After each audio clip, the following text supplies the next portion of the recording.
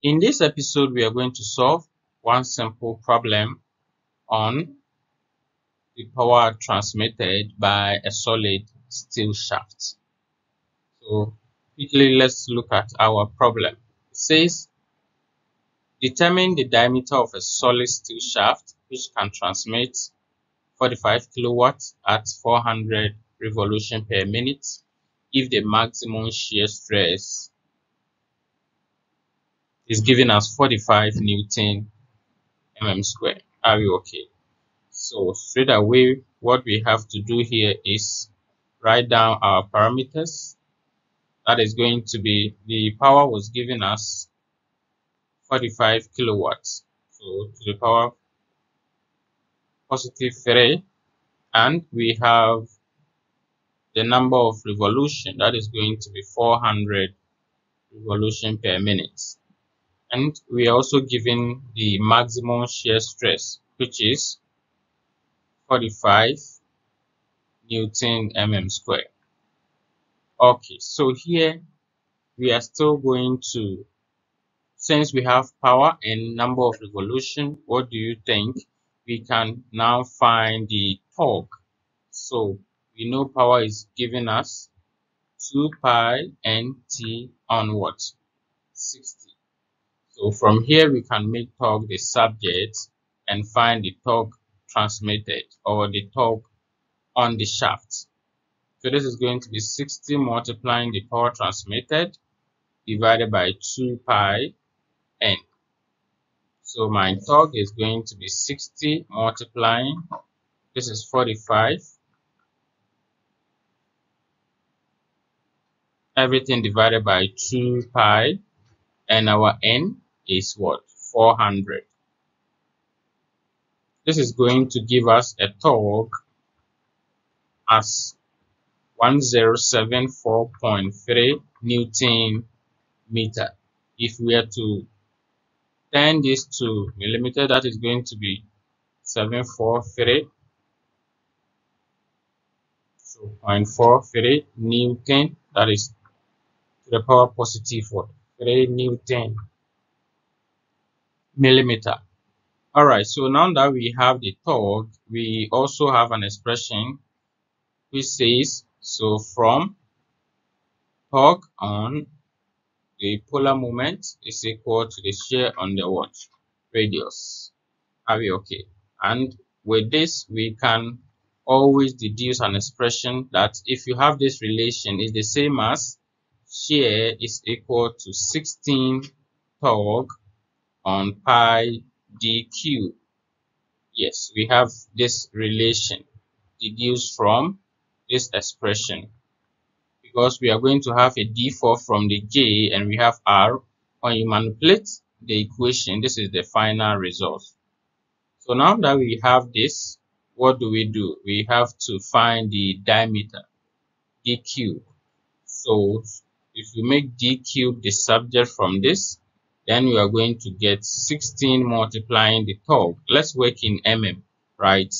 So that is going to be 107 4.3 to the power positive 3 everything on pi the shear is 45 right 45 given so this is going to give us e cube to be 1215 85.88 mm cube. We want the diameter, not d cube. So you take the cubic root of both sides. And your d from here is going to be 49.54 mm. So this is the diameter of the solid steel shafts that is transmitting that power at that revolution and a shear of 45 it's interesting. Are we okay? So let's look at the second example that we have over here. Now the second example is quite simple. Let's look at it says the design specifications of a 1.2 meter long solid shaft require that the angle of twist of the shaft should not exceed 4 degrees when a torque of 750 Newton meter is applied. Now, you have to know that these are the specifications that we are not to exceed. 1.2 long, 4 degree twist. Are we okay with this torque? Now we are to determine the required diameter of the shaft, knowing that the shaft is made of steel, which has allowable shear stress of 90 megapascal and modulus of rigidity also as 77.2 gigapascal. Alright, so straight away, let's dive into this. We can also have our parameters written from here. So I have the length of the shaft L to be 1.2 meters, which is also 1200 millimeters. What are we having? We have the theta, which is the twist, as 4 degrees, but the standard units should be converted to radians. So that will be 4 multiplying pi on what? 180, giving us 0 0.0698 radian. We also have a torque T giving us what? 750 Newton meter. This is also 750 raised to the power positive 3 Newton watts dot millimeter. What we have? We are to also have the shear stress, which is 90 megapascal, which is also 90 Newton per millimeter square. And the rigidity is G, which is 77 0.2 gigapascal. And if we are converting it, that is going to be 77.2 kilonewton per mm square. We are looking for what the diameter of the shaft, which is D is equal to an unknown. So we have quite a number of parameters given. So straight away, this is a torque equation. So you write your mighty formula where you can link any of the parameters. So we know that torque on J should be equal to this and that, everything on L equal to the shear stress on the radius. So this is the three combined what? Equation. So now we are interested in finding diameter. You can combine any of the two to get your parameter. So let's combine the first two this and that to see what we are having. So meaning I'm going to still work in millimeters. This is going to give me the torque which is 750 on that. The J of a solid shaft we know is pi on 32 d4 right so that is going to be pi on 32 d4 equal to now we have our J, which is the modulus. In terms of mm, that is going to be 77.2 to the power what? 3. And the radians, the angle of twist is giving us in terms of radian that is 0.0698. We divide both side by the L, the length in terms of mm, which is 1200. So this is a matter of what? Using your calculator to punch.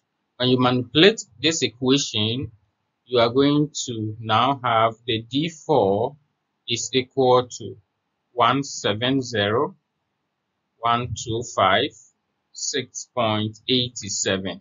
So this is in terms of mm4, right? So you are going to take the fourth root of both sides. And with that, you are going to get your D4 or diameter from this to be 36.12 mm. 36.12 mm. So this is the diameter. But remember, you can also combine another form to also get another diameter, right? Yes. So let's look at that one. If we are to combine T on J with the shear stress on the radius, then we are going to get, we always know that this is going to give us an expression which says shear is 16T on pi d cube. We shouldn't forget this expression. Anytime, anytime you have that, you can just reduce it to this. So from here, we can make d cube the subject and we are going to have d cube should be equal to, now we are going to have 16 still working in mm. So we have the torque that is going to be 750 kilo and everything is going to divide by the share. The share is giving us what? We have 90 pi by what? 90. So the cube is going to be 42441.32. What do we do? We take the cubic root of both sides, leaving our diameter to be 34.88 mm.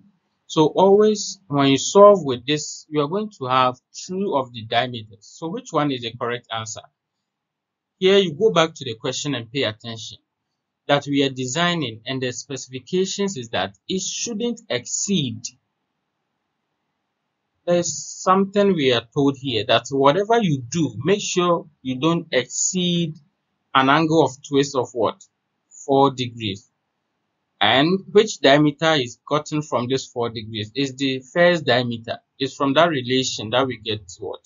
We are getting 36.12 meaning we are not to exceed that but when you look at the other parameters the torque and that are we restricted to exceed or not exceed there's no restriction and that is giving us a certain diameter so we stick to the one with the restriction that don't exceed that is it clear? Yes. So meaning the diameter, the required diameter that we are going to choose is going to be the 36.12 because we are not to exceed an angle of twist of that. And this is gotten from that parameter. Therefore, our D required is 36.12 mm.